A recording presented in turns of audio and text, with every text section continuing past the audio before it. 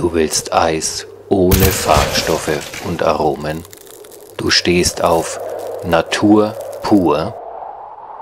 Das kannst du leichter haben. Liebe SWN-Zuschauer, heute seht ihr einen Film und zwar über den Zwangsarbeiterweg und dann anschließend eine Kundgebung zu ein, Jahre, ein Jahr Ukraine-Krieg und die Gedanken dazu von Agnes Konrad. Viel Spaß beim Zuschauen des Films. Agnes, seid ihr bereit? Wir sind bereit. Dann bin ich auch bereit. Ich begrüße euch recht herzlich hier an dem Ausgangspunkt unseres äh, Weges, den wir heute beschreiten wollen. Also die Veranstaltung gliedert sich in zwei Teile. Ich werde führen, verstehen alle? Weil zur Not hätte man noch den Werner Inke da. Wir könnten aufteilen, aber ich denke, so geht's auch. Alle hören was, ja? Dann ist gut. Ja, ich begrüße euch recht herzlich im Namen der Initiative gegen das Vergessen. Wir gehen jetzt den Zwangsarbeiterweg und es geht dann über in die Kundgebung an der Station 7 am Ende des Zwangsarbeiterweges am Denkmal Drei Linden. Die Initiative gegen das Vergessen hat sich über viele Jahre äh, mit der Zwangsarbeit in Schweinfurt beschäftigt. Äh, der eine oder andere kennt noch den Klaus Hoffmann, der das ganz wesentlich betrieben hat. Aber es gab auch noch andere, die da unterstützt haben bei der geschichtlichen Erforschung der Verhältnisse und dann aber auch bei der Betreuung ehemaliger Zwangsarbeiter in der damaligen Sowjetunion oder später dann eher im Bereich der heutigen Ukraine. Die Zwangsarbeit, wenn man sich die Geschichte Schweinfurts in so einem Heimatmuseum vorstellt, dann ist die Geschichte der Zwangsarbeit so ein heimlicher Kellerraum. Und wenn dann einer was wissen will, schließt der Hausmeister auf und sagt ganz verschämt, da gibt es auch noch was. So kann man das vielleicht sich bildlich vorstellen. Und äh, die Initiative hat lange Zeit große Widerstände erfahren, weil die Firmen dicht gemacht haben. Die haben einfach gesagt, wir haben nichts. Seitens der Stadt äh, gab es zwar Unterlagen, aber man hat es alles sehr bedeckt gehalten. Es gab auch kaum äh, aktive Erinnerung aus unterschiedlichen Gründen. Also die, die heute 85 äh, sind, die waren damals Kinder, die waren nicht in Schweinfurt die waren in Kinderlandverschickung in der Rhön oder im Steigerwald. Und man hat auch aktiv die ganze Geschichte der Zwangsarbeit verdrängt. Das war ein unangenehmes Kapitel. Und viele haben eigentlich Entbehrungen und äh, Verzicht erst nach 1945 erlebt. Und es stand dann viel stärker in der Erinnerung als das Elend der anderen, nämlich das Elend der Zwangsarbeiter. Die den Weg, den wir bestreiten, das sehen wir hier auf dem grob äh, bezeichneten ja, Lageplan. Wenn man sich hier rechts vorstellt, das war die, das Zwangsarbeiterlager Obere Weide. Das waren die Zwangsarbeiterlager von SKF, von äh, damals Fichtel und Sachs und Stahl. Und wir gehen jetzt praktisch mitten durch und kommen dann an das Kugelfischerlager Mittlere Weide. Und man kann sich ungefähr die Ausmaße vorstellen, hier rechts und hier links, da waren zum gleichen Zeitpunkt etwa 4.500 Zwangsarbeiter untergebracht. Dazu gab es noch Lager an anderen Stellen, in Wirtshaussälen und ähnlichem. Dort waren vor allen Dingen Franzosen, also Westeuropäer untergebracht die hier untergebrachten Zwangsarbeiter in den beiden großen Lagern waren hauptsächlich aus der damaligen Sowjetunion. Da haben ja weder die Täter noch die Opfer unterschieden zwischen Ukrainer und Russen oder Belarussen. Das waren einfach Ostarbeiter, die äh, da untergebracht waren und in den Fabriken arbeiten mussten. Zur Initiative noch, damit ich die Zettel vielleicht mal los wäre. Äh, die Initiative hat noch mehrere andere Aktivitäten gestartet, die in dem Prospekt sichtbar sind. Also hier geht es um die Frage, wo kamen die Zwangsarbeiter her? Ich habe es ja schon gesagt, aus unterschiedlichen Ländern. Zum einen hat äh, das Deutsche Reich alles dran gesetzt, äh, Zwangsarbeiter freiwillig zu rekrutieren. Es hat überhaupt nicht funktioniert, obwohl man in den Heimatländern schwer Druck ausgeübt hat. Die Nazis selber sprachen davon, dass etwa 200.000 der Zwangsarbeiter tatsächlich freiwillig nach Deutschland kamen. Die äh, Gesamtzahl der in Deutschland eingesetzten Zwangsarbeiter wird auf etwa 12 Millionen geschätzt. Muss man sich ja mal von der Dimension her vorstellen. Äh, das Deutsche Reich, also mit den damaligen Ostgebieten, hatte etwa 60 Millionen Einwohner und davon dann waren natürlich viele in der Armee. Die Zwangsarbeiter hatten die Funktion in den Fabriken, in den öffentlichen Dienst und so weiter, die Soldaten zu ersetzen. Und dann eben 12 Millionen, die im Zeitraum 1941 bis 1945 als Zwangsarbeiter hier eingesetzt waren. Es gab verschiedene Kategorien. Eine Kategorie, oder sind noch welche, haben die damit zu tun? Ich glaube, es sind Gegendemonstranten. Wenn es Demonstranten sind, aber da würde ich gerne jetzt noch ein bisschen was nachfragen, weil ich bin leider fünf Ja. Minuten zu spät gekommen. Was willst du nachfragen? Ich würde jetzt einfach gerne nachfragen, in welchem, also ich, ich, äh, wir gehen den Weg, das weiß ich, aber ich bin eigentlich auch durchaus dazu äh, hierher heute gekommen, weil ich trauere natürlich schon mit dem, was momentan passiert, dass wir einen Krieg haben und äh, äh, dachte, jetzt heute ist auch, also ich habe zum Beispiel eine Transparent für mich äh, mitgebracht. Das findet alles am, am Ende statt. Ah ja, genau, weil ich nämlich gedacht habe, ne, dass ich irgendwie, äh, dass wir uns auf was geeinigt haben. Das Vergessen. Und es geht dann über in eine Kundgebung, äh, die dann äh, die heutigen Verhältnisse anspricht. Das wird aber am Schluss am, am an Station 7 passieren. Also alle Unklarheiten beseitigt. Also jeder wird seinen Platz finden. Gut, äh, jetzt bin ich allerdings ein bisschen rausgekommen. Ah ja, jetzt habe ich es wieder. Äh, und ein wichtiger Unterscheidungspunkt. Wir, äh, finden, wir fanden hier damals kein Konzentrationslager vor. Das muss man nochmal deutlich unterscheiden. Ähm, Die Lager waren, also die Rekrutierung der Zwangsarbeiter lief ganz normal über die Arbeitsagenturen. Die Arbeitsagenturen waren zuständig. Die Verwaltung des, der hiesigen zwei Lager lag bei der Schweinfurter Großindustrie. Die haben die zur Verfügung, also die Baracken geplant und die Menschen dort untergebracht.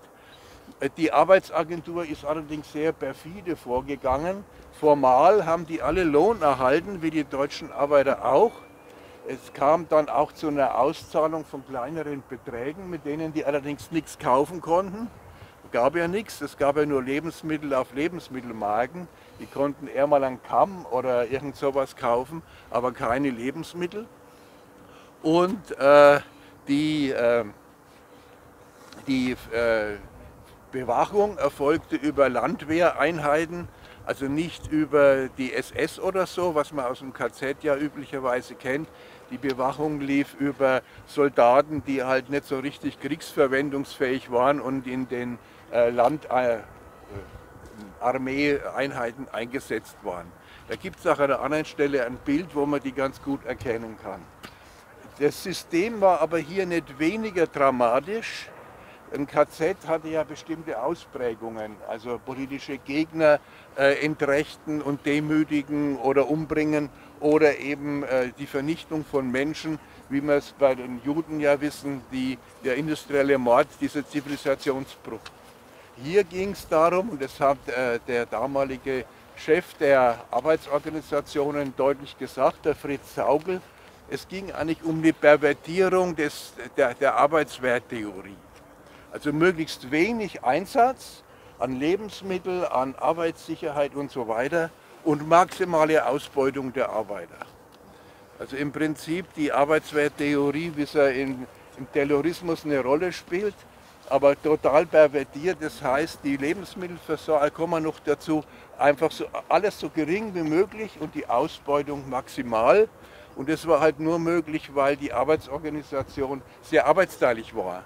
Man konnte mit wenig Anlernzeit die Zwangsarbeiter in den Fabriken entsprechend zum Einsatz bringen. Die Herkunftsländer waren also, wie ich bereits gesagt habe, also einmal aus dem Westen. Die wurden auch etwas besser behandelt. Die zweite Gruppe kam dann äh, aus Osteuropa, aus der heutigen Ukraine. Es gab dann noch Zwangsarbeiter aus dem Kreis der Italiener.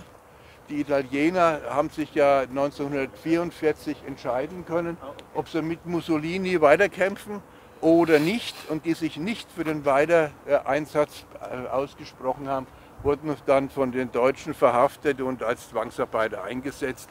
Die waren so ziemlich die unterste Kategorie, weil sie eben als Verräter wahrgenommen wurden. Also soweit die Herkunft und die Ausmaße des Lagers. Wir gehen jetzt zur Station 2. Also Nochmal von meiner Seite aus einen herzlichen Dank an Norbert und an Werner. Da hinten stehen sie für die Führung. Ähm, auch nochmal an Herbie für die Technik. Für alle, die es nicht mitbekommen haben, äh, die Ukrainer haben uns inzwischen verlassen. Das liegt daran, dass äh, ihnen nicht bewusst war, was wir hier heute machen. Sie wussten nicht, dass wir den Zwangsarbeiterweg gehen. Sie hatten damit gerechnet, dass eine große Kundgebung stattfindet. Nicht, dass wir erst den Marsch gehen und danach noch eine Kundgebung äh, anschließen. Ich habe versucht, mit ihnen zu reden. Ähm, leider waren sie nicht bereit, noch bis zum Ende zu bleiben, was auch verständlich ist. Viele von ihnen ähm, hätten es nicht ganz verstanden und die Übersetzung war immer ein wenig schwierig. Außerdem haben sie kritisiert, dass äh, keine Polizei bei uns mitgelaufen ist. Die Polizei ist natürlich informiert, das Ordnungsamt ist informiert, äh, aber dadurch, dass eben keiner da war, war es für sie dann nochmal ein Gefühl der Unsicherheit, vor allem auch, weil wir heute ein Jahr Ukraine-Krieg haben und für den Fall, dass es Überfälle gegeben hätte, wollten sie dann lieber woanders hingehen. Ähm, das tut mir sehr leid, denn letzten Endes geht es heute um Kriegsopfer, vor allem eben auch die Opfer des Ukraine-Kriegs, den wir jetzt eben seit einem Jahr führen. Das ist der, der, glaube ich, bei uns gerade am präsentesten ist. Es ging aber natürlich auch nochmal um unsere eigene Geschichte hier in Schweinfurt, um den letzten Krieg, den wir direkt miterlebt haben. In der Ukraine beteiligen wir uns vor allem mit Waffenlieferungen, aber wir verstehen nicht richtig, wir kriegen nicht richtig mit, was das tatsächlich dann in der Ukraine macht, wie die Leute das erleben. Und deswegen war für uns heute noch einmal der Hintergedanke, diesen Weg zu gehen ähm, und eben zurückzuschauen auf den Zweiten Weltkrieg und was das mit den Zwangs, wie das für die Zwangsarbeiter hier war und von dort aus dann wirklich in den Ukraine-Krieg zu gehen, in dieses eine Jahr, das wir, das wir jetzt heute miterleben müssen. Leider ohne klares Ende in Sicht.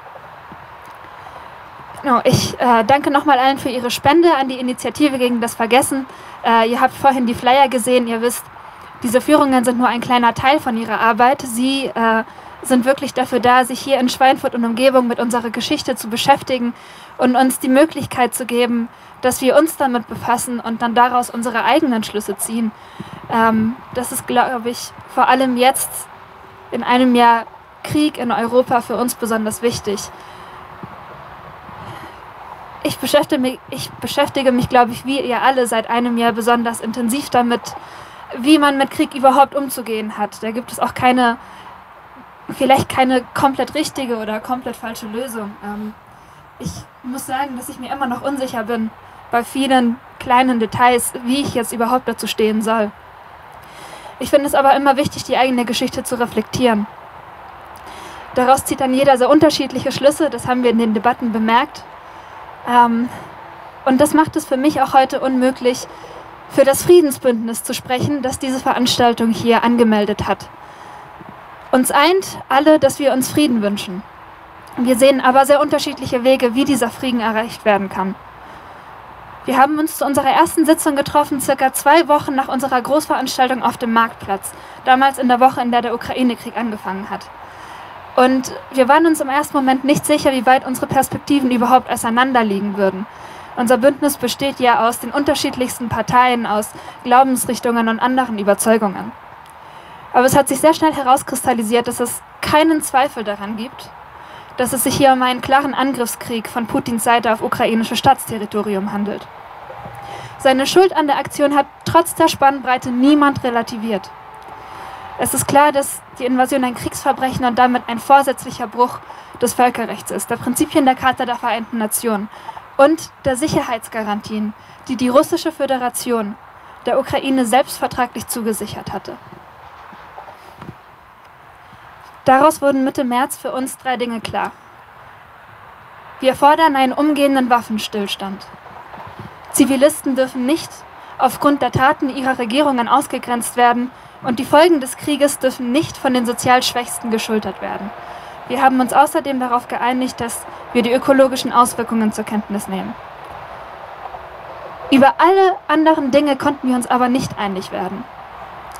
Deswegen kann ich von hier aus auch nur meine eigene persönliche Meinung vertreten. Das muss ich noch einmal ganz klar sagen. Ich spreche nicht für die CSU, ich spreche nicht für die SPD, ich spreche nicht für die Grünen, für irgendeine Kirche oder irgendjemand anderen. Ich stelle mich noch mal kurz vor. Mein Name ist Agnes Konrad. Ich bin Teil des Friedensbündnisses ähm, und äh, organisiere die Veranstaltungen immer maßgeblich mit. Dabei bin ich die Vertreterin für die Linkspartei. Vor einem Jahr war ich noch sehr zögerlich zu dem Thema was zu sagen. Das hat sich auch ehrlich gesagt nur marginal geändert, weil ich bis zum Schluss geglaubt hatte, dass Putin nicht eine große militärische Aktion über weite Teile des ukrainischen Staatsterritoriums ausführen würde. Die Art der hybriden Kriegsführung, die wir auf der Krim gesehen haben, etwas in der Art konnte ich mir vorstellen, im Donetsk und in Luhansk. Und natürlich habe ich überlegt, wie wir als westliche Staatengemeinschaft dann darauf reagieren sollen, um die Menschen und die territoriale Integrität dieser Regionen zu schützen. Dabei blieb es dann aber nicht. Und dass sich dahinter ein strategisch gut durchdachtes und gut informiertes Konzept versteckt, das wage ich bis heute zu bezweifeln. Aber die russischen Angriffe haben so oder so viele Menschen um ihre Heimat gebracht. Ich durfte dann im Rahmen unserer Aktionen mit Ukrainerinnen reden, die im Detail geschildert haben, wie sie Freunde und Familie verloren haben. Sie sind nach Deutschland geflüchtet, während viele ihrer Bekannte noch in den Kriegsgebieten sind. Ich hatte ein Gespräch mit einer Ukrainerin, die bereits 2014 aus der Krim mit kleinen Kindern ins Inland fliehen musste und deren Eltern immer noch in Harkiv waren und fest entschlossen, ihre Heimat nicht mehr zu verlassen. Und als es dann mit der Zeit immer klarer wurde, dass Russland nicht plant, seinen Einmarsch schnell aufzugeben oder sich auf faire Verhandlungen einzulassen, hieß das für sie also, dass ihre Eltern entweder unter russischer Besatzung in ihren politischen und ihren zivilen Rechten eingeschränkt werden würden, oder aber, dass sie im Laufe von militärischen Auseinandersetzungen zu Schaden kommen könnten. Und ihr wisst, die meisten Ukrainerinnen und Ukrainer sind deswegen für weitergehende militärische Unterstützung von unserer Seite auch mit schweren Waffen. Und das kann ich Ihnen im ersten Moment gar nicht verübeln. Denn ich stimme Ihnen darin zu, dass zu einem wahren Frieden auch soziale und politische Gerechtigkeit gehören müssen. Und das wäre zurzeit ganz einfach nicht gegeben, wenn wir jegliche Unterstützung abziehen würden. Ich bezweifle allerdings, dass wir in unserer Unterstützung immer die richtigen Schwerpunkte gesetzt haben. Wir haben in den letzten Monaten die Erfahrung gemacht, dass Putin sein Wort eigentlich nicht hält. Ich verstehe jeden, der sagt, dass Verhandlungen in diesem Moment sinnlos sind, insbesondere weil man über den Status ukrainischen Staatsterritoriums verhandeln würde. Was ich aber von Anfang an kritisiert habe, das ist, wie wir an die Sache herangegangen sind. Wir haben immer noch kein offizielles, klar definiertes Ziel, was genau wir mit unseren Waffenlieferungen verfolgen und erreichen wollen. Es geht alles in dieselbe Richtung, aber mir fehlt immer noch diese, diese klare Aussage von Seiten der Bundesregierung, was letzten Endes das Ziel ist. Unsere Sanktionen haben immer noch jede Menge Schlupflöcher. Sanktioniert sind auch vor allem die Superreichen. Aber wenn man ihren Besitz in Europa beschlagnahmt, können sie sich woanders wieder etwas aufbauen. Das gilt aber nicht für Zehntausende russische Millionäre, die Putins breiteres Rückgrat bilden und nicht so umfassend auf den Sanktionslisten stehen. Und gleichzeitig ist es schwierig, den richtigen Umgang mit der breiten russischen Bevölkerung zu finden. Das Friedensbündnis hatte schließlich gefordert, dass Zivilisten nicht für die Taten ihrer Regierungen verantwortlich gemacht werden. Das hat aber im Verlauf nur teilweise funktioniert. Und natürlich tragen Russen und Russinnen einen Teil zu ihrer Eskalation bei, wenn sie nicht öffentlich protestieren. Aber schauen wir uns nochmal die Lage der Zivilisten genauer an. Ukrainische Flüchtlinge haben hier zwar insgesamt mehr oder vielleicht auch einfach eine bessere Hilfe erhalten, als wir sie noch 2015 gegeben haben, aber trotzdem gab es immer wieder Probleme auf den Ämtern, in der Unterbringung, bei Geldsorgen, in der Schulbildung und bei vielem mehr. Außerdem durften zwei junge Ukrainer, die hier 18 geworden sind, natürlich hier bleiben. In der öffentlichen Debatte haben wir aber meiner Ansicht nach sehr ungenügend darüber gesprochen, wie wir es mit der Aufnahme von Kriegsdienstverweigerern halten. Nicht, weil sie abgewiesen werden würden, sondern weil es in meinen Augen immer noch eine persönliche Entscheidung ist, ob man sich an militärischen Kampfhandlungen beteiligen will oder eben nicht. Für jeden, der das nicht will, hätten wir ein ganz klares und kontinuierliches Zeichen setzen müssen, dass jeder Zivilist, der sich nicht militärisch beteiligen will, hier, hier willkommen ist. Und dass das letzten Endes nicht nur für die Ukrainer gilt, sondern auch für Russen, die eingezogen werden sollen. Aber wie gesagt, es ist schwierig, überhaupt den Kontakt zur russischen Bevölkerung zu halten. Natürlich darf man dieses Kriegstreiben nicht finanziell unterstützen. Wenn wir uns aber von allen Kommunikationswegen abkoppeln, die wir nach Russland haben, bleibt uns, am Ende, bleibt uns am Ende nur noch der eine politische Ansprechpartner und der lässt nicht gut mit sich reden. Das macht es auch einfacher für Russland, Propaganda in der eigenen Bevölkerung zu verbreiten und Leute für den Krieg zu gewinnen.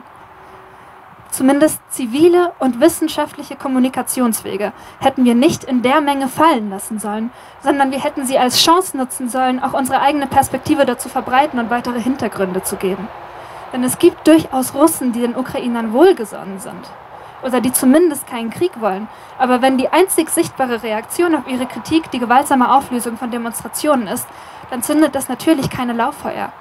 Wo waren da die Symbole von unserer Seite? Und wir wissen, dass zwar potenziell viele, wenn nicht alle Russen, vor allem auch in Beamtenjobs eingezogen werden können für diesen Krieg. Zurzeit kommt die Mehrheit der russischen Soldaten aber aus sehr ärmlichen Verhältnissen, in denen sie keine Zukunftsperspektiven haben.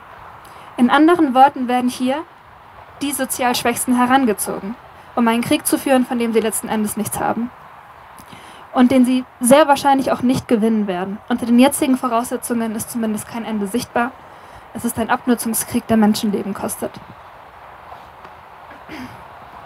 Und er geht gegen die dritte Forderung, die das Friedensbündnis gestellt hatte, dass dieser Krieg nicht auf dem Rücken der sozial Schwächsten ausgetragen werden darf.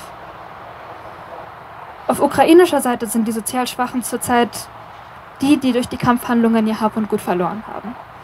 Die Infrastruktur wird absichtlich stark beschädigt und das allein gefährdet alle in dieser Region Lebenden.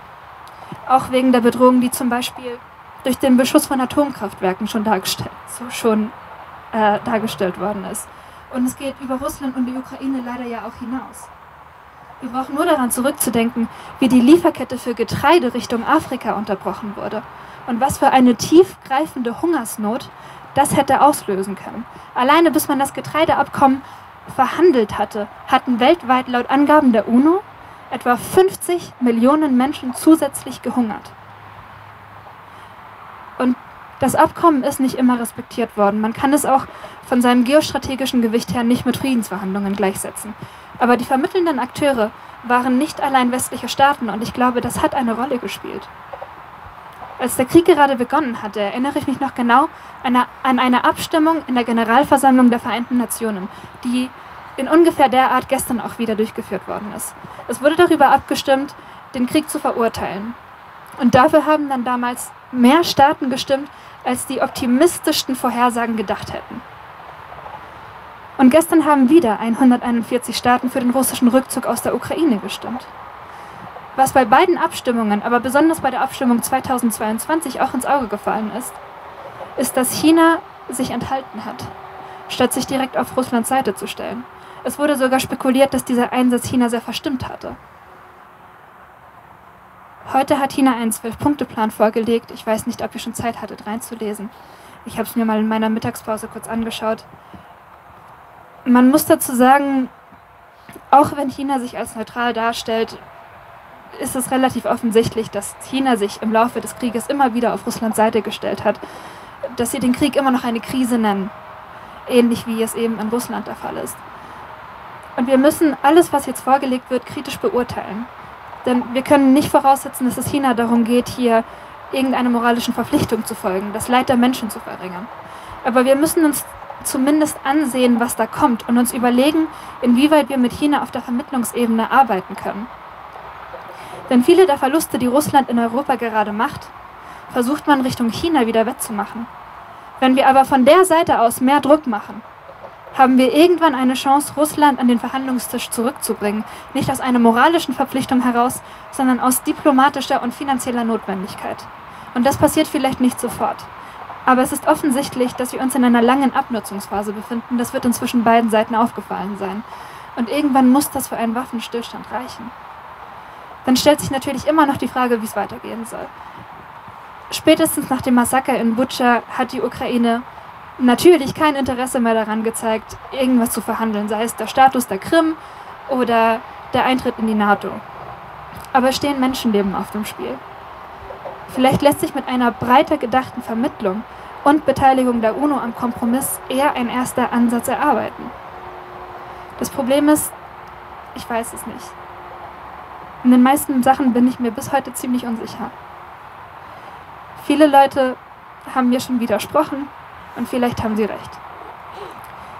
Aber ich bin immer grundsätzlich für eine nicht militärische Lösung. Denn die Verlierer von kriegerischen Auseinandersetzungen sind immer Menschen. Das, zwar, das war im Zweiten Weltkrieg der Fall und das ist jetzt auch immer noch so.